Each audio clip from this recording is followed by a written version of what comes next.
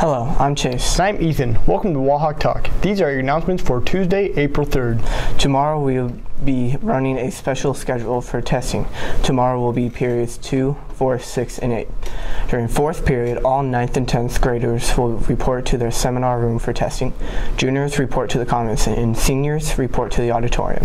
Attention seniors, Golden W forms are due to 231 by Thursday, April 5th. Remember, the coach or sponsor must assign the points.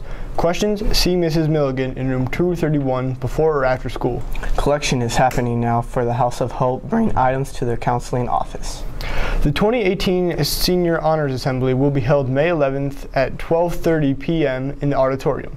Seniors, if you have been awarded a scholarship you plan to accept, email Mrs. Wass by May 1st to have it included in the reported senior scholarships handout.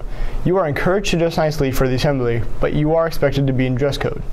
Today's events boys tennis versus Dubuque Senior 4 p.m., girls tennis at Dubuque Senior 4 p.m., girls track at Kingston Stadium, Cedar Rapids 4:30 p.m. Boys soccer at CVSC 4:30 p.m., hockey banquet in Commons 6 to 8 p.m., Nostalgia Club in Mrs. Agbese's room 2:40 to 4:30. See you next time. Have a great day and be West.